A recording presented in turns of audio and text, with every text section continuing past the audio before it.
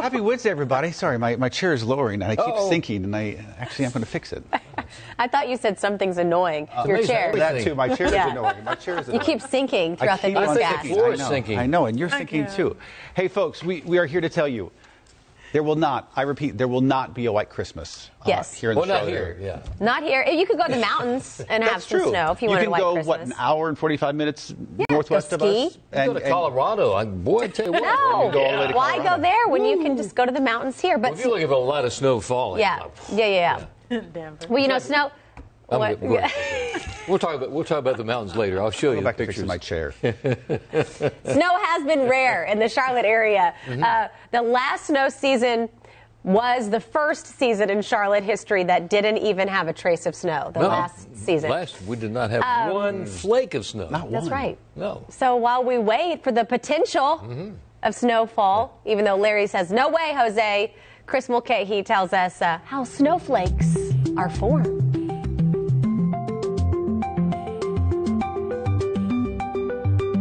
You think of snow, you may be thinking of a scene like this, a winter wonderland. But when you zoom into these falling snowflakes, their intricate beauty is one of the coolest things in nature. Let's learn how they form in another Weather IQ.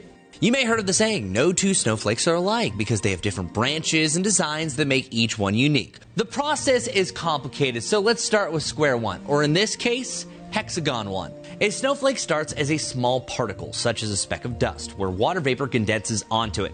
As we know, a water molecule has two hydrogen atoms and one oxygen atom. These hydrogen atoms link together, crystallize, and then form a hexagon or a hexagonal prism. So, this is why snowflakes most commonly have six sides. From here, branches can form on the corners, bonding to the second hydrogen atom. But the process isn't done. This snowflake will continue to rise into colder air in the cloud, gaining more branches and dendrites as more tiny water particles bond to the flake.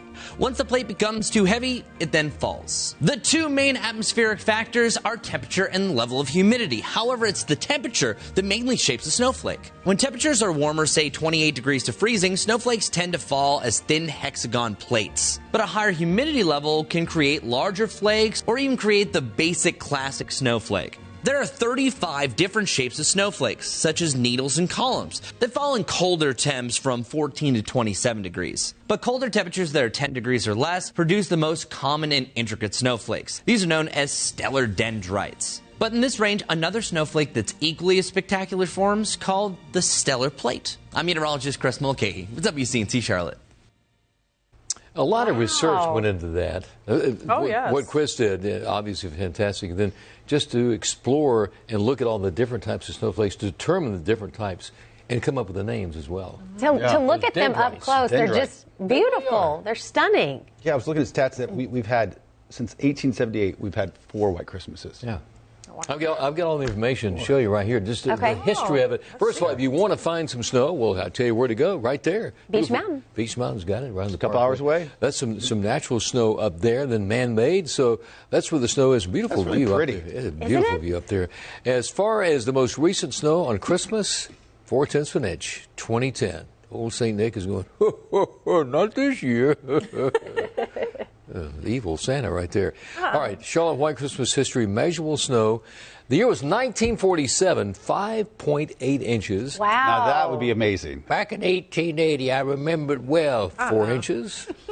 I do remember 2010, 0.4. And back in 1909, 2 tenths of an inch. Just 2% of years on record, 70 degrees has occurred six times. 2% of the years on record, we've had snow, and 70 degrees has occurred six times. On What would the city do with five inches of snow? I mean, I think everything would just shut down. It, it does. For like a week. Yeah, Yeah, it does. or It, any time. it- it Yeah. shuts down. It shuts down for far less. Two, Yeah. inches, two inches can shut it down, maybe even an inch. I would say. An, I would say an inch. will Yeah. Shut the city down. But I mean, White Christmas is just a fantasy. Just uh, not not around these parts here, but Just you- watch the movie. Even this year, it's going to be hard to find a White Christmas in the eastern part of the United States. Uh, even like in Chicago. You went to Chicago, right? Yes. Not in- so I'm not, not in the forecast up there. Not in the forecast. This is the craziest thing. I'm Yeah. going to go home and there's going to be no snow on the ground. There you go. I was really looking forward to complaining about it. So you could have stayed here right. and, and, and, you know. and it's the has- same. Uh, Joy Mott chiming in. No snow in Wisconsin for Christmas Mm-hmm. this year. yes. enjoy. uh, I'm I feel like. disappointed. I mean, I feel like it's it's changed a lot. Because I mean, I mean, I know growing up in Cleveland. Cleveland, we had white Christmases Yes. quite a bit. Well, that's a long time And- ago and- when and you were a that- kid. Speak for yourself, Sprinkle. Uh, no, but I mean, no, but there's something to be said for that because they, True. they're not having white Christmases like they used to. Um, they're Cleveland, Chicago, like any of the around the Great Lakes that often get you know, I mean, with snow. the, the, the debate will can be forever, but global warming certainly is a part of that. Now, the Yeah. debate is what causes it, but Sure. this is the fact that our, our weather is much milder across the United States, and that's why there's less and less snowfall, even in places Yeah. like uh, up there in Cleveland, Yeah. Ohio, and Chicago, Illinois. Yeah. And, well, you're from Arkansas. I'm from North Carolina. That's right. Yeah, That's we, right. we never had a white Christmas, so even seeing snow was very exciting. It's you can enjoy it in movies. I was about to say, I moved down here for a reason. That's right. That's right. I don't know that I really miss it that much. I don't. Um, all right, folks, chime in. Let us know what you think, and we'll see you back here tomorrow for another edition of WCNC Charlotte to go.